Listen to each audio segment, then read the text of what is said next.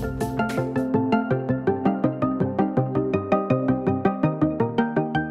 Bueno, acá se, se, ha traducido el apoyo en lo que es aporte económico y aportes también culturales. En el aporte económico, sobre todo aquí en Club Gardel, para poder hacer la finalización de obra, eh, detalles que quedan pendientes, como aberturas y algunos detalles más, complementando lo que es el aporte económico de los convenios sociales del Ministerio de Transporte y Obras Públicas. Y también en lo que es la parte social, cultural, en todo lo que es la generación de actividades, eh, ya se está estudiando distintos cursos también para poder proporcionarle a los vecinos de, esta comunidad nuevas alternativas para su formación y para su esparcimiento también. Los tres niveles de gobierno trabajando con objetivos comunes, en este caso apoyar a dos instituciones sociales, culturales, deportivas, este, que bueno, también le hacen a, la comunidad. Y bueno, con, la alegría de poder decir los trabajos terminados, este, tanto en, la, en Miguel capital, ciudad, como acá que estamos un poco a las afueras de, de Migues, en el Club Gardel,